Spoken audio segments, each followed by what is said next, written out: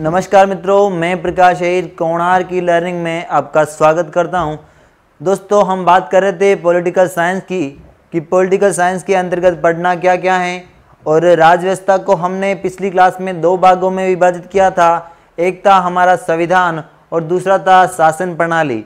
आज हम संविधान के अंतर्गत बात करेंगे। संविधान का जो हमारा पहला टॉपिक होता है, संवैधानिक विकास। तो आज हम सबसे पहले बात करेंगे संवैधानिक विकास से। तो संवैधानिक विकास का मतलब क्या होता है मित्रों? तो संवैधानिक विकास से हमारा मतलब यह होगा कि भारत के संविधान निर्माण से पूर्व ब्रिटेन की सरकार द्वारा या ईस्ट इंडिया कंपनी द्वारा शासन को संचालित करने के लिए जो भी अधिनियम बनाए गए, जो भी एक्ट बनाए गए, उन सभी बातों की जो हम चर्चा करेंगे, वो करेंगे संविधान के विकास के अंतर्गत। तो मित्रों, किसी भी देश के संविधान को समझने के लिए यदि हमें उस देश के वर्तमान या विद्यमान संविधान को समझना है तो उसके लिए हमें उस देश के संविधान के इतिहास को जानना महत्वपूर्ण है। तो आज हम बात करेंगे संविधान के विकास की। या जिसे हम संविधान के विकास के साथ साथ संविधान का इतिहास भी कहते हैं, संविधान का विकास। या संविधान के विकास की ऐतिहासिक पृष्ठभूमि। तो आज का जो हमारा टॉपिक रहेगा, भारतीय संविधान का विकास। मित्रों, संविधान के विकास की बात करने से पूर्व, हम यहाँ कुछ इसकी सामान्य रूपरेखा तय करेंगे, जिससे आपको संविधान के विकास को समझने में आसानी हो सके। तो मित्रों, सबसे पहले बात करेंगे कि भारत के संविधान का जो निर्माण होता है, या संविधान के विकास की जो कहानी शुरू होती है, वह ईस्ट इंडिया कंपनी की स्थापना के साथ ही प्रारंभ हो जाती है। लेकिन मित्रों, यहाँ हम बात करेंगे कि ईस्ट इंडिया कंपनी से पूर्व भारत में किसका शासन था या भारत में व्यापार के उद्देश्य से कौन आए थे? तो सबसे पहले यहाँ हम थोड़ी सी बात कर लेंगे पुर्तगालियों की। मित्रों, ये है हमारा भारत, समझिएगा आप। और मित्रों, हम बात करते हैं पुर्तगालियों की। मित्रों, जो हम बात कर रहे हैं पुर्तगालियों की या ईस्ट इंडिया कंपनी की तो इसे आप हिस्ट्री में भी पढ़ेंगे। लेकिन यहाँ हम संविधान के विकास को सही रूप से समझने के लिए यहाँ पर कुछ पुर्तगालियों की चर्चा करेंगे और कुछ अंग्रेज़ों की चर्चा करेंगे। देखिएगा मित्रों, पुर्तगालियों द्वारा सबसे पहले एक जो व्यापारी आता है चौदह में, उसका नाम है वास्को डिगामा सबसे पहले पुर्तगाली जो व्यापारी आता है वास्को डिगामा सबसे पहले पुर्तगाली व्यापारी वास्को डिगामा भारत आता है और भारत के केरल के कालीगढ़ बंदरगाह पर आता है। केरल के कालीगढ़ बंदरगाह पर आता है और उस समय जो केरल का शासक था, वह था जमोरिन या जमेरिन। उस समय जो केरल का शासक था, जमेरिन। उसके बाद में आगे हम बात करते हैं तो पुर्तगाली द्वारा 1505 में 1505 में जो पुर्तगाली वायसराज था, Francis de Almeida. Francis de Almeida, पुर्तगाली वायसराय फ्रांसिस डी अल्मोड़ा, भारत आता है और यह वायसराय भारत में दो प्रकार की नीतियाँ लागू करता है। सबसे पहला जो हमारा रहेगा, यह बल देता है तंबाकू के पौधे की नीति पर। तंबाकू के पौधे की नीति पर अपना बल देता है, तंबाकू के पौधे को स्थापित करने पर बल देता है। और दूसरी जो नीति रहती है, blue water policy. Blue water policy. मित्रों, ब्लू वाटर पॉलिसी से हमारा मतलब है कि हिंद महासागर में या नीले पानी की नीति भी कहते हैं, जिसे हिंद महासागर के क्षेत्र में पुर्तगालियों द्वारा अपना नियंत्रण स्थापित करना। उसके बाद में आगे बात करें तो 1509 में 1509 में जो पुर्तगाली वायस राय होता है, पुर्तगाली वायस राय अलबुर कर्क भारत आता है।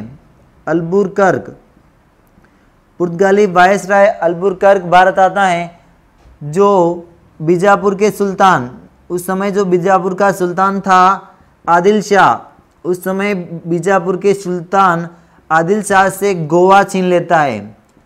मित्रों, गोवा 1509 में जो वायस वायसराय अलबुरकर्क होता है, बीजापुर के सुल्तान आदिल शाह से गोवा छीन लेता है।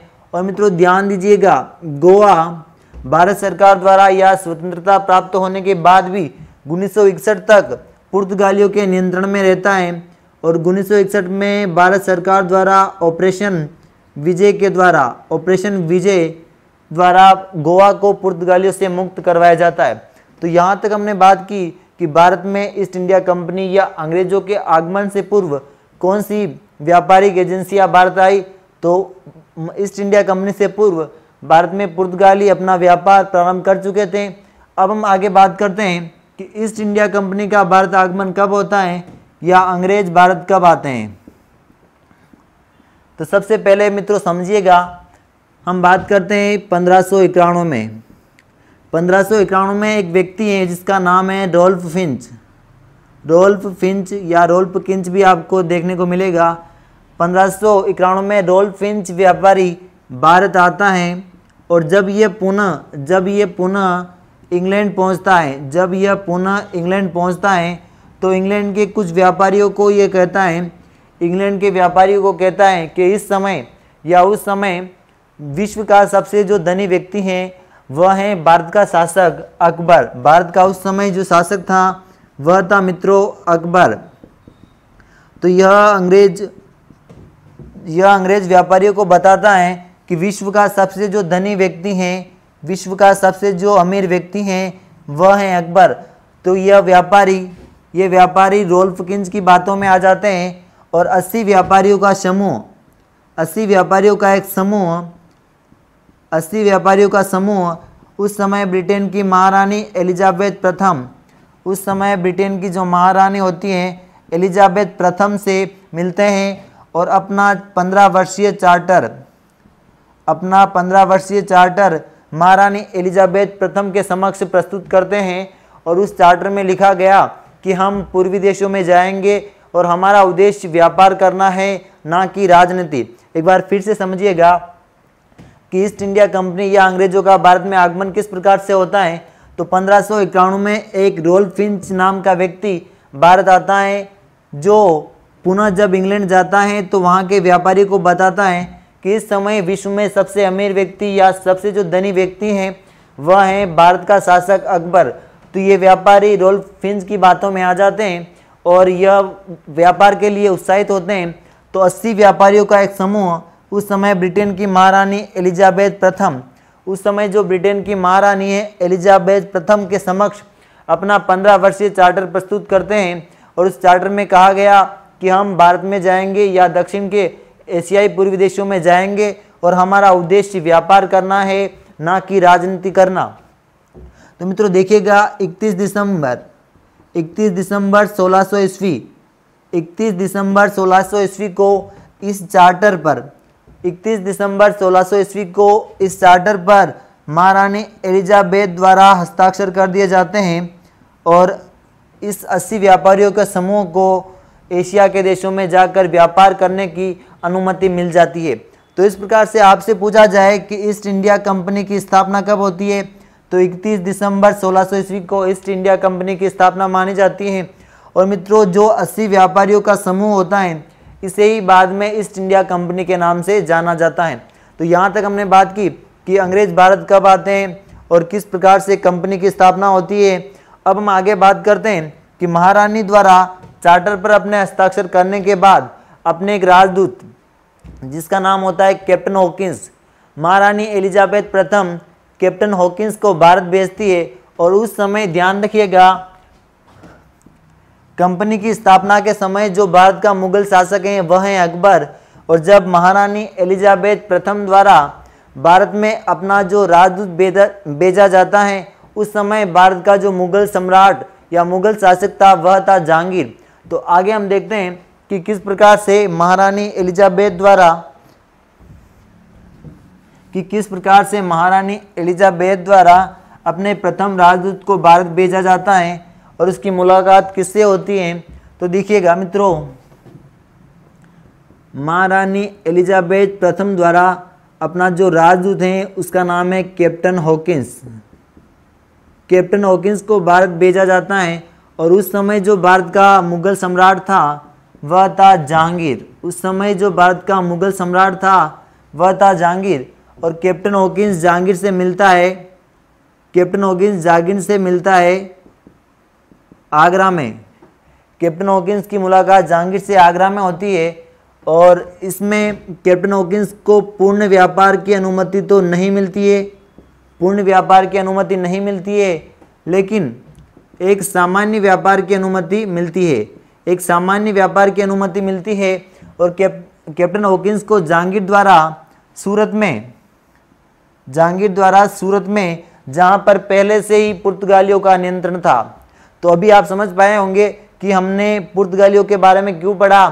तो मित्रों, जहांगीर द्वारा कैप्टन हॉकिंस को सामान्य व्यापार की जो अनुमति दी गई, वो कहाँ दी गई? सूरत में दी गई। और सूरत में उस समय पहले से ही पुर्तगालियों का नियंत्रण था। तो कैप्टन हॉकिंस सूरत पहुँचता है। सूरत पहुँचता है और वहाँ पर अपना व्यापारिक नियंत्रण या व्यापारिक कोटि स्थापित करने की कोशिश करता है। लेकिन पुर्तगाली कैप्टन हॉकिंस का विरोध करते हैं तो कैप्टन हॉकिंस क्या करता है कि महारानी एलिजाबेथ प्रथम को एक संदेश भिजवाता है और उस संदेश में कहा गया है कि महारानी, हमें व्यापार की अनुमति तो मिल गई, लेकिन पुर्तगाली हमारा विरोध कर रहे हैं। तो महारानी एलिजाबेथ क्या करती है कि कैप्टन बेस्ट के नेतृत्व में महारानी एलिजाबेथ, कैप्टन बेस्ट के नेतृत्व में अपनी एक सेना भेजती है। महारानी एलिजाबेथ, कैप्टन बेस्ट के नेतृत्व में अपनी एक सेना भेजती है और 1612 में 1612 में कैप्टन बेस्ट द्वारा सूरत में पुर्तगालियों को पराजित कर दिया गया और 1613 में ईस्ट इंडिया कंपनी द्वारा या कैप्टन हॉकिंस द्वारा पुर्तगाल में अपनी प्रथम व्यापारिक कोठी पुर्तगाल द्वारा पुर्तगालियों को पराजित कर सूरत में अपनी प्रथम व्यापारिक कोठी स्थापित कर दी गई। प्रथम व्यापारिक कोठी। तो मित्रों, प्रश्न पूछा जाए कि ईस्ट इंडिया कंपनी द्वारा या कैप्टन हॉकिंस द्वारा सबसे पहले अपनी व्यापारिक कोठी कहाँ स्थापित की गई? तो 1613 में सूरत में अपनी व्यापारिक कोठी स्थापित की गई। मित्रों, अब हम आगे बात करते हैं कि जब ईस्ट इंडिया कंपनी की स्थापना होती है और जब अंग्रेज़ व्यापारी महारानी एलिजाबेथ प्रथम के समक्ष अपना जो चार्टर रखते हैं और उसकी अवधि बताई गई है पंद्रह वर्ष। और उसमें कहा गया कि हम पूर्वी देशों में जाएँगे और हमारा जो उद्देश्य होगा व्यापार करना और वह व्यापार कितने वर्षों के लिए होगा? तो पंद्रह वर्ष के लिए। तो मित्रों 1615 में इस व्यापार की अवधि पूर्ण होने वाली थी। और इस समय ब्रिटेन का जो सम्राट होता है, जेम्स प्रथम जेम्स प्रथम। मित्रों, ध्यान दीजिएगा, कंपनी की स्थापना के समय जो ब्रिटेन की महारानी होती है, एलिजाबेथ प्रथम, और जब कंपनी की अपनी चार्टर की जो अवधि पूर्ण हो जाती है, और 1615 में ब्रिटेन का जो सम्राट होता है, जेम्स प्रथम, ये जेम्स प्रथम क्या करता है कि कंपनी का जो चार्टर होता है, उस उस पर अपने हस्ताक्षर करके कंपनी के व्यापार की जो अवधि होती है, उसे बढ़ा देता है। और जेम्स प्रथम द्वारा जो अपना प्रथम राजदूत भेजा जाता है, मित्रों, एलिजाबेथ प्रथम द्वारा जो राजदूत भेजा जाता है, उसका नाम है कैप्टन हॉकिंस। और कैप्टन हॉकिंस की मुलाकात जहांगीर से होती है और यहाँ पर पूर्ण व्यापार की अनुमति नहीं मिलती है। यहाँ पर सामान्य व्यापार की अनुमति मिलती है और वह कहाँ मिलती है? पुर्तगालियों द्वारा जो सूरत पर अपना नियंत्रण स्थापित कर चुके थे, वहीं पर मिलती है और युद्ध होता है और 1613 में सबसे पहले कैप्टन हॉकिंस के नेतृत्व में अंग्रेज़ों की जो प्रथम व्यापारिक कोठी होती है, वह सूरत में स्थापित की जाती है। उसके बाद में आगे हम बात करते हैं कि 1615 में ब्रिटेन का जो सम्राट होता है, जेम्स प्रथम ने इस व्यापार के चार्टर की अवधि बढ़ाकर अपने प्रथम व्यापार, व्यापारिक राजदूत captain sir Thomas Roe, sir Thomas Roe. Sir Thomas Roe को भारत भेजता है और सर टॉमस रो की उस समय मुलाकात होती है जहांगीर से। मित्रों, उस समय भी भारत का जो मुगल सम्राट था, वह जहांगीर था, लेकिन इस समय जहांगीर राजस्थान के राजस्थान के अजमेर में आया हुआ था। राजस्थान के अजमेर में आया हुआ था और यहाँ पर सर टॉमस रो की अजमेर में अकबर का किला। अजमेर में अकबर का किला, या जिसे हम मैग्निस दुर्ग के नाम से भी जानते हैं। मैग्निस दुर्ग में अकबर के साथ सर टॉमस रो की मुलाकात होती है, और यहाँ पर सर टॉमस रो को व्यापार की पूर्ण रूप से अनुमति मिल जाती है। तो मित्रों, इस प्रकार से अंग्रेज़ों को भारत में व्यापार की प्रथम कोटि भी स्थापित हो जाती है, सामान्य व्यापार की अनुमति भी मिल जाती है और धीरे धीरे सर टॉमस रो के नेतृत्व में 1616 में 1616 में पूर्ण रूप से व्यापार की अनुमति भी मिल जाती है। तो इस प्रकार मित्रों, अंग्रेज़ों का भारत में आगमन होता है और उन्हें व्यापार की अनुमति मिल जाती है। अब अंग्रेज़ भारत में अपना व्यापारिक क्षेत्र के साथ साथ धीरे धीरे भारत के राजनीतिक क्षेत्र में भी अपना हस्तक्षेप करना चाहते थे और बंगाल पर अपना नियंत्रण करना चाहते थे और वह एक ऐसी स्थिति का या ऐसे अवसर का तलाश कर रहे थे कि किस प्रकार से भारत के हम राजनीतिक क्षेत्र में अपना हस्तक्षेप करें और बंगाल को अपने नियंत्रण में करें। मित्रों, पुर्तगालियों के बाद जब अंग्रेज़ों की,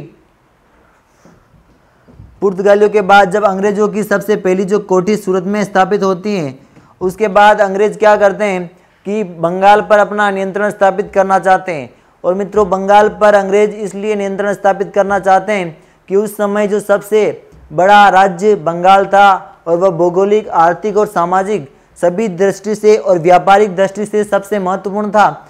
तो अब जो अंग्रेज़ों की अगली दृष्टि रहती है, वह रहती है बंगाल। तो पुर्तगाली के बाद जब अंग्रेज़ अंग्रेज़ अपना टारगेट करते हैं, सबसे पहले वह करते हैं बंगाल को। और ध्यान दीजिएगा मित्रों 1707 में 1707 में मुगल सम्राट या मुगल बादशाह औरंगज़ेब की मृत्यु के बाद अंग्रेज़ भारत में अपना राजनीतिक क्षेत्र में हस्तक्षेप करना शुरू कर देते हैं, अपनी व्यापारिक कोडियों को बढ़ाना शुरू कर देते हैं, अपनी सेना को संगठित करते हैं तो इस प्रकार से बंगाल पर अपना नियंत्रण स्थापित करना चाहते हैं और बंगाल और अंग्रेज़ों के बीच, बंगाल और अंग्रेज़ों के बीच आपसी तनातनी हो जाती है और आपसी विरोध के कारण यहाँ पर अंग्रेज़ी सेना और बंगाल की सेना आपस में एक दूसरे के विरोध में हो जाती हैं और इस प्रकार से जो युद्ध होते हैं, वो दो युद्ध होते हैं। देखिएगा सबसे पहले, ये दो युद्ध कौन कौन से हैं? तो सबसे महत्वपूर्ण युद्धों में हम बात करते हैं कि सत्रह सौ सत्तावन।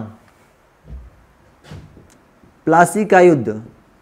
प्लासी का युद्ध होता है मित्रों सत्रह सौ सत्तावन। मित्रों प्लासी पश्चिम बंगाल में और प्लासी के युद्ध में अंग्रेज़ों का जो नेतृत्व कर रहा था रॉबर्ट क्लाइव, और इधर था सिराजुद्दौला। इधर था जो सिराजुद्दौला, जो बंगाल का नवाब था। और मित्रों, इस युद्ध में सिराजुद्दौला के सेनापति मीर जाफ़र द्वारा, मीर जाफ़र द्वारा विश्वासघात कर लिया जाता है। और इस युद्ध में क्लाइव की विजय होती है। तो इस प्रकार अंग्रेज़ों की भारत में प्रथम विजय प्लासी के युद्ध को मानी जाती है।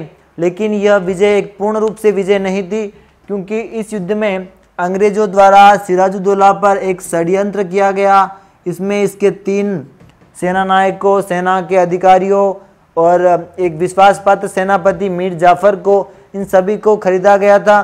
तो इस प्रकार से इसे हम पूर्ण विजय नहीं कह सकते लेकिन फिर भी अंग्रेज़ों की भारत में जो पहली विजय रही वह रही सत्रह सौ सत्तावन की प्लासी की विजय। उसके बाद आगे हम बात करते हैं कि अंग्रेज़ों द्वारा सत्रह में एक महत्वपूर्ण युद्ध हुआ और उस युद्ध को हम नाम से जानते हैं बक्सर का युद्ध। बक्सर का युद्ध, सत्रह मित्रों, बक्सर की अगर हम बात करें तो बक्सर वर्तमान में बिहार में बक्सर बिहार में है और ध्यान दीजिएगा इस युद्ध में अंग्रेज़ी सेना का जो नेतृत्व करता है, कैप्टन मुनरो कैप्टन मुनरो। और इस इस ओर जो भारत की ओर से संयुक्त सेना बनाई गई थी, उसमें था बंगाल का नवाब मीर कासिम। मीर कासिम और अवध का नवाब अवध का नवाब सुजाउदौला सुजाउदौला और भारत का जो सम्राट था, उस समय था शाह आलम शाह आलम सेकंड। मित्रों, ध्यान दीजिएगा, मीर कासिम और मीर जाफ़र अलग व्यक्ति थे, सिराजुद्दौला और सुजाउदौला अलग व्यक्ति थे। और भारत का उस समय जो शासक था शाह आलम द्वितीय तो इनकी एक संयुक्त सेना और अंग्रेज़ी सेना के बीच में युद्ध होता है और इस युद्ध में भी जो विजय होते हैं, वह अंग्रेज़ होते हैं। तो इस प्रकार मित्रों, अंग्रेज़ों की भारत में विजय हुई और पूर्ण रूप से जो विजय मानी जाती है, वह होती है बक्सर की विजय। बक्सर के युद्ध में अंग्रेज़ों ने अपने प्लासी के युद्ध की विजय को या पराजय को एक प्रत्यक्ष रूप से मील का पत्थर साबित कर दिया कि अब अंग्रेज़ों ने अपने आप को एक पूर्ण व्यक्ति या एक पूर्ण शक्तिशाली समझना शुरू कर दिया और अब हमें ऐसा लगने लगा अंग्रेज़ों को कि हमें अब भारत में टक्कर देने के लिए ऐसी कोई शक्ति नहीं है। तो इस प्रकार अंग्रेज़ों ने भारत में अपना नियंत्रण स्थापित कर दिया। तो इस प्रकार से भारत के लोगों को लगने लगा कि अंग्रेज़ भारत में एक व्यापार करने के लिए आए। व्यापार के साथ धीरे धीरे राजनीतिक क्षेत्र में और सैन्य क्षेत्र में अपना हस्तक्षेप शुरू कर दिया। तो भारत के लोगों में विरोध था और इन सभी कारणों से जब ब्रिटेन की सरकार को ये पता चला, एलिजाबेथ प्रथम के बाद जब ब्रिटेन की जो सम्राट थे, उन्हें ये पता चला कि कंपनी व्यापार के साथ साथ अपना राजनीतिक कार्य प्रारंभ कर चुकी है और कंपनी में भ्रष्टाचार व्याप्त हैं कंपनी के अधिकारी अपना निजी व्यापार कर रहे हैं और कंपनी के जो व्यक्ति हैं या कंपनी के जो व्यापारी हैं, जब ब्रिटेन जाते हैं तो वहाँ के लोग भी उनसे हे दृष्टि से देखते हैं तो इस प्रकार शासन को सही रूप से संचालित करने के लिए अब ब्रिटेन की सरकार द्वारा क्या किया जाता है कि ईस्ट इंडिया कंपनी पर नियंत्रण के लिए, ईस्ट इंडिया कंपनी के नियंत्रण के लिए इन पर कुछ नियंत्रण रखा जाता है। तो अब ईस्ट इंडिया कंपनी पर नियंत्रण के लिए ब्रिटेन की सरकार द्वारा जो भी अधिनियम कानून बनाए जाते हैं, अधिनियम कानून बनाए जाते हैं उन्हें हम संवैधानिक विकास में महत्वपूर्ण अधिनियम मानते हैं। संवैधानिक विकास में महत्वपूर्ण अधिनियम मानते हैं और इन अधिनियमों की जो हम चर्चा करेंगे, वो करेंगे दो भागों में। एक होगा हमारा 1600 से सत्रह सत्तावन, अठारह तक, और दूसरा होगा अठारह सौ अट्ठावन से उन्नीस सौ सैंतालीस तक। मित्रों, ध्यान दीजिएगा, हमने इन दो आधारों को इस प्रकार से विभाजित किया कि 1600 ईस्वी में कंपनी की स्थापना होती है और सत्रह सौ सत्तावन में एक क्रांति होती है, अठारह सौ सत्तावन की क्रांति। और इस अठारह सौ सत्तावन की क्रांति द्वारा महत्वपूर्ण परिणाम यह होता है कि इसमें शासन की सत्ता बदल जाती है और शासन की सत्ता ब्रिटेन की सरकार या ताज के शासन के अधीन आ जाती है। ताज के शासन के अधीन आ जाती हैं। तो इस प्रकार इन अधिनियमों की जो हम चर्चा करेंगे संविधान के विकास में करेंगे। इसमें हमारा सबसे महत्वपूर्ण अधिनियम रहेगा सत्रह सौ तिहत्तर का रेगुलेटिंग एक्ट, सत्रह सौ चौरासी का पिट्स इंडिया एक्ट, उसके बाद में सत्रह सौ तेरह, अठारह सौ, सत्रह सौ तैंतीस और सत्रह सौ, अठारह सौ तिरपन। अठारह सौ तिरपन, ये सभी जो अधिनियम रहेंगे, इसमें हमारा महत्वपूर्ण अधिनियम रहेगा अठारह सौ अट्ठावन उन्नीस सौ पैंतीस, उन्नीस सौ उन्नीस उन्नीस सौ नौ, ये सभी हमारे जो अधिनियम रहेंगे, वो संविधान के विकास में हम आगे विस्तृत रूप से चर्चा करेंगे। तो उम्मीद करता हूँ मित्रों कि संविधान के इतिहास की पृष्ठभूमि आपको समझ में आई होगी और अगली क्लास में हम चर्चा करेंगे। सबसे पहले जो हमारा संवैधानिक विकास का जो महत्वपूर्ण अधिनियम है, सत्रह सौ तिहत्तर का रेगुलेटिंग एक्ट। मित्रों, भारतीय संविधान में ईस्ट इंडिया कंपनी द्वारा सबसे पहला जो अधिनियम पारित किया गया था, वह था सत्रह का रेगुलेटिंग एक्ट। और इस रेगुलेटिंग एक्ट के द्वारा भारत में एक सर्वोच्च न्यायालय की स्थापना की गई, कंपनी पर नियंत्रण किया गया। इन सभी बातों की चर्चा आगे की क्लास में हम विस्तृत रूप से करेंगे। धन्यवाद।